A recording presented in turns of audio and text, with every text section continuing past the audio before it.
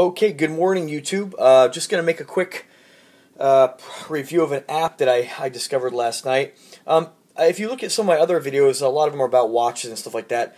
However, recently I've been um, I've been doing a few uh, app reviews here. In this particular video, um, I'm going to show you how to stream your uh, your media, so movies or, or, or uh, pictures and music. Mainly, I use it for movies from your NAS or your network attached storage drive. In my case, a Western Digital MyCloud. Okay, and I'll go ahead and show you that here, where I have these located, tucked away in a closet. Okay, so there you go. There's my router. Of course, wireless router uh, naturally. And then you have um, the Western Digital 4 terabyte My Cloud, and then you have another 4 terabyte My Book, which is actually connected to the cloud. So this one here, I actually, whenever I, you could make this so it's automatic, where it automatically do uh, backs up your primary. Um, for me, I just find it easier, and I get more peace of mind knowing that I'm actually, when I add files to this, I just go ahead and add files to this as well. Um, these are always on; they're always connected to the network. Um, and then what I use before I got into uh, this whole uh, MyCloud, before I got these, I went ahead and I had um, on my TV here, I have the Chromecast. And pri uh, prior to uh, finding some of these Android apps, and the one I'm going to explain to you how it works, um, I actually was in the process of building an XBMC uh, home theater PC. Okay, and uh, once I discovered that I could do this with my existing stuff, my network drives and my Chromecast, um, I did just didn't see the point in spending the money on a um, XBMC computer. Um, now I know there's other options out there you can buy to do the same thing, but uh, this works for me very well. Um, you don't have to have a computer on, and these devices are always on and always ready to go. Now they can be a little bit finicky at times. Um, like for instance, I've been using in my other video I showed you how to do it with Bubble. Or I didn't really show you how to do it, but I explained to you how Bubble works. Bubble's another app that does basically the same thing, but it's a little bit finicky. And, and recently, last night, the reason I discovered this other app was because I was trying to uh, play movies like normal, and uh, for some reason or another, it just wasn't bringing the uh, the Bubble uh, app up on my TV. And I read online that there might be some kind of issue with the uh, developer net, uh, the developer apps.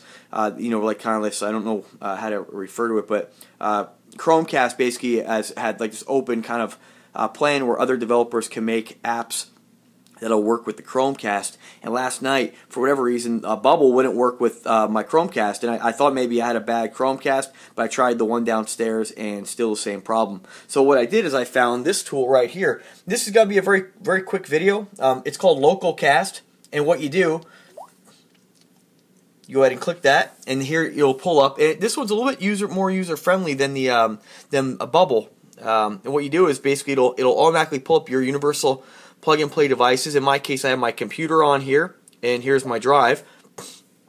You go ahead and click it, and we're going to go for uh, videos, and we're going to go ahead and go to my folder, and we're going to go to the actual drive.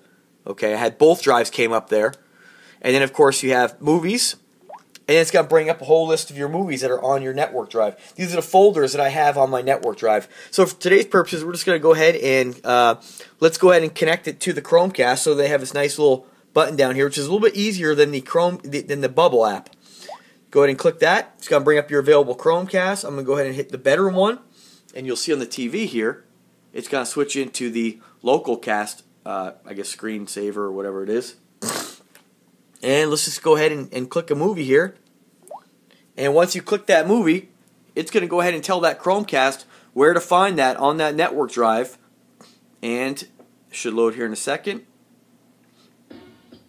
Voila, there you go. So there's how you do it. You stream your basically all your uh, all your you know media, uh, movies and music uh, right to any TV in the house as long as you got a Chromecast and network attached storage. Um, you can do this with a server. I, I choose the MyClouds because the price point was really good and um, they're pretty easy to configure. Now, of course, you still have to have a computer. Let me go ahead and turn this off. And you go ahead and pause just like anything else. So you can pause it. And we're going to disconnect. So I'm going to exit app on the TV. And there to go back to the standard uh, Chromecast uh, screensaver and we're going to exit out of here. Now I have this. Now this is only available on Android, and unfortunately, you know, I'm recording this right now on a an Apple product. For whatever reason or another, there are no Apple products that I've been able to find that'll work the same way on on any of the uh, iOS devices. So uh, there's a real a real um, need there to go ahead and have an Android device. Maybe you're you are a, a diehard Apple user, and they make a great product. Don't get me wrong, I like the product, of course, but um, unfortunately, um, you, you, just can't do the same thing with an iOS device. Um, and it's really nice to not have to have the computer on. Now I'm going to close with one more one more comment. Um, in order for you to add your you know your information to the drive, of course, you can't just have a network drive and expect to have your uh, your music and media on there. You do still have to have a computer to get the media onto that drive, okay? But once it's on there, there's no reason to have the computer on at all. So there's my video. Um, if you have any kind of questions, let me know. Um, I don't know if a lot of people know you can do that without having to, uh, you know, have an Xbox or all stuff. But basically, I mean, for the amount of money that I spent on the drives and the Chromecast, I mean, the Chromecast were on special for like twenty-five dollars. And um, it's a great way to be able to use all your media throughout your entire home. Now I have three TVs in my house. Unfortunately, I can't use the Chromecast on my office TV because um, it's an older TV and it doesn't have HDMI ports, so the TV just basically sits there on the wall. But eventually, I'll upgrade that, and then I'll be able to use three Chromecasts throughout the house. Uh, but for my purposes, really just having two, one upstairs and downstairs, works pretty darn fine. All right, if you have any questions, go ahead and let me know. Thank you for watching. Take care.